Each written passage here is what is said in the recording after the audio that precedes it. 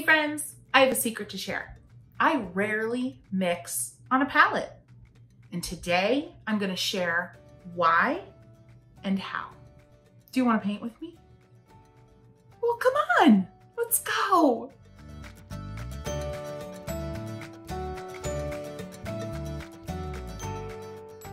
Okay, get ready for this. It's gonna feel messy and it's gonna feel weird and your palette's gonna get a little messy, but I promise you it's okay.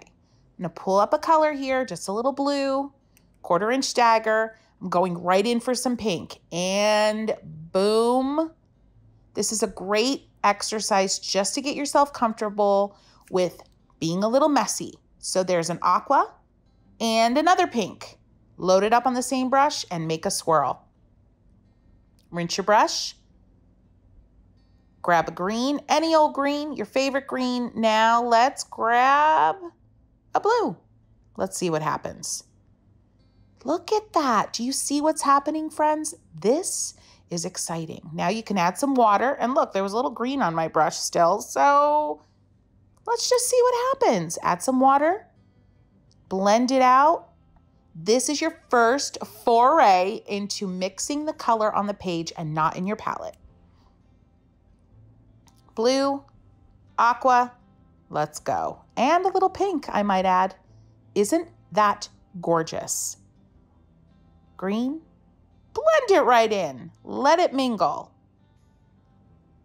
When I go off screen, friends, I am rinsing my brush, nothing else. And I know you might be wondering, well, Kristy, your palette, it looks like you mix on your palette. Let me tell you a little secret. We did a whole collection last year where we took photographs of the palettes I use. So we kind of did all that on purpose. That's not actually from my painting. Anyway, too funny. Grabbing a piece of scrap paper here and let's give this a try in real life. Aqua, and we make a stroke, press, drag, wiggle, and lift. Little more aqua. We're making a leaf, friends. Now, you're going to fill in the middle with some green right on the page. Right on the page. Now you're kind of wet and wet. Grab a little bit of yellow next. I'm feeling it. And we're just going to keep layering these colors right on the page. I am completely bypassing the mixing palette. You don't need it and continue on with whatever's on your brush. Press, drag, lift, two times mirrored. Ha! Add some pink. Yes, I did. Oh, yes, I did, friends. And then some blue right on top of it. This is your time to be bold, friends. This is your time to just throw caution to the wind and see how this feels. Aqua right on top of that dark stuff. Uh-huh. Everything's super wet, nice and juicy. I'm grabbing a peach now. My brush probably isn't completely clean. Eh, not too bad. A little bit of red. Oh, yeah. Oh, yeah. And some blue. I know you think I'm insane. At this point, you think I'm certifiable. Green. Two greens. And blend that in. Make the leaf a little bigger. Now we're to start to blend everything together with clean water one stroke downwards is all we needed to blend that a little bit. And I'm to leave that leaf alone and continue making leaves. This is uh, yellow. Little bit of green was on the brush from before. And let's just see what happens.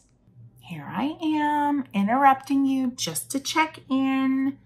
Don't panic about your palette getting dirty. I promise you, I'm going to show you at the end of the video how to clean your palette without wasting any paint. Promise. All right, get back to it. We're often so quick to blend and blend and blend some more, but sometimes you just gotta let gravity and the climate of the room do the blending. See what I did there? I added aqua to that leaf and then a really dark green, and I'm just letting it go, letting it blend on its own. I can always come back in 20, 30 seconds and blend some more. And we're just continuing with leaves, various shades of watercolor. Look at that, friends. It's gorgeous. Are you as excited as I am? I think we should try something else because I know at this point you're probably still feeling, a little uncomfortable, a little unsure. And now I do want to point something out. Look at my palette. Is it messy? Is it any messier than it was when we started? No. It's all good, friends. Now, if you're enjoying this, will you hit the thumbs up for me on this? I would really appreciate that. That would make me feel so good. And if you haven't subscribed, would be a good time because you don't want to miss any of this content, right? Because we are having a blast. All right, next up, same idea. We're going to just do a lemon. Now, this could be a lemon. This could easily turn into a kumquat. This could be what you need it to be. Any kind of citrus fruit, really. Starting with a yellow, wet on dry. Going in with a blue.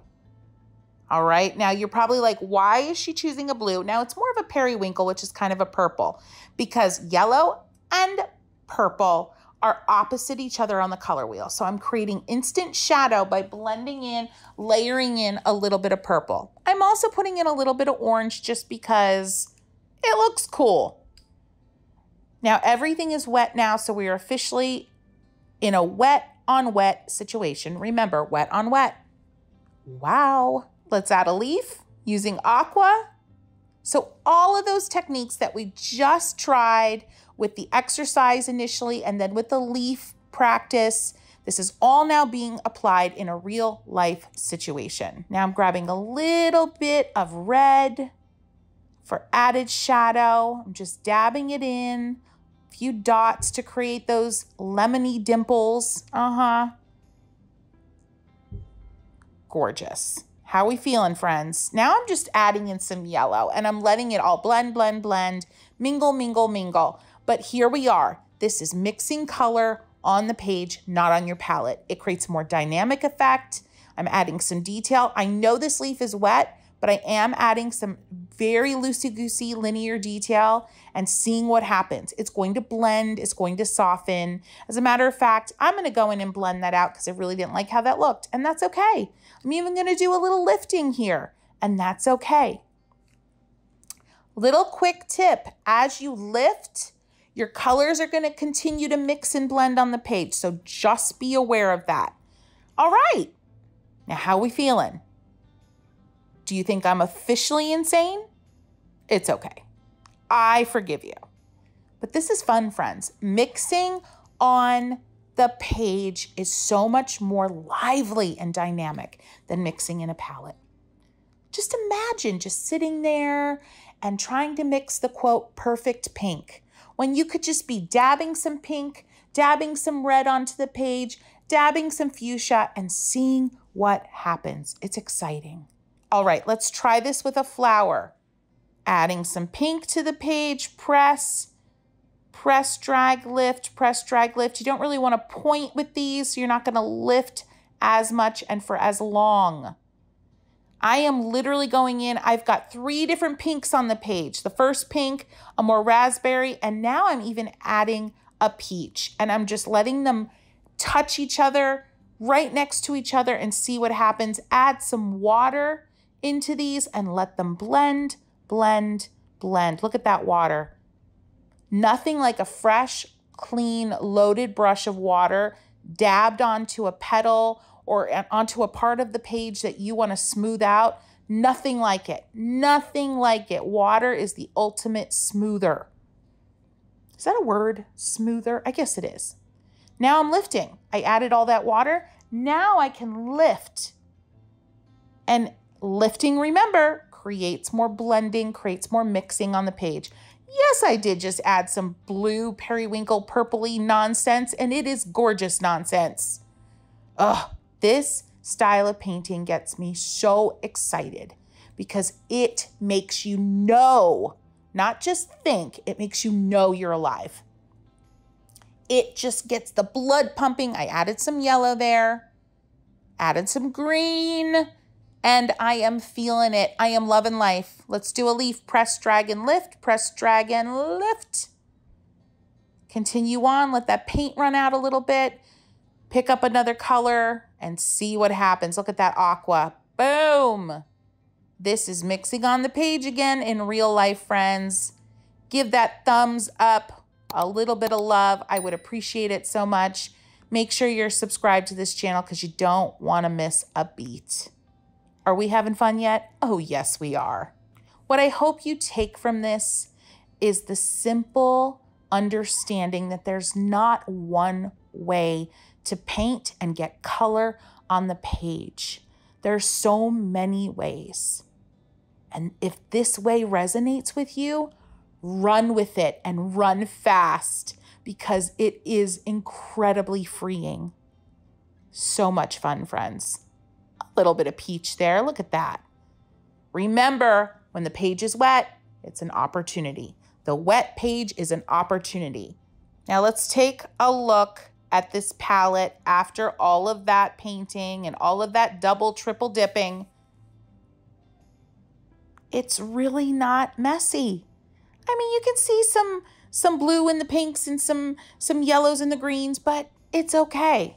Now watch what I do sometimes when things get a little crazy on my palette. I will literally go in with some clean water, a clean brush, and I will clean out some of the unwanted color from the pans. Very simple. You waste a little bit of paint, but honestly, if you don't want to dab like I am, just scoop up that paint on a brush and paint with it. Paint something with it.